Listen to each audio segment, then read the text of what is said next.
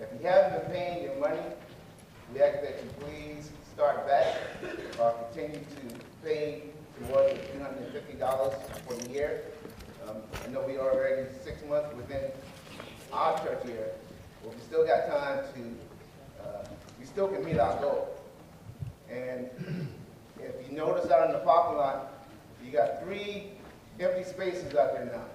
We finally got the bus sold, so we're asking you to please invite your neighbors, your friends, let them know that we got more parking space out here now. Um, Maybe after church, um, I'd like to meet with all the building fund members. Thank you.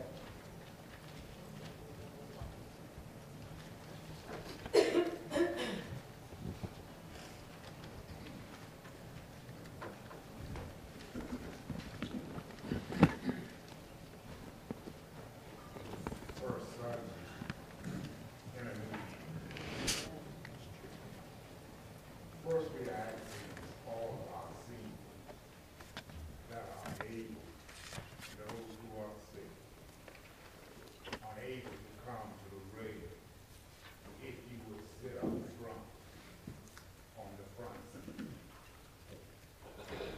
And the reason for that is to keep those who are distributing the Holy Communion to have to walk all over the church move it. Today, to start those little changes that I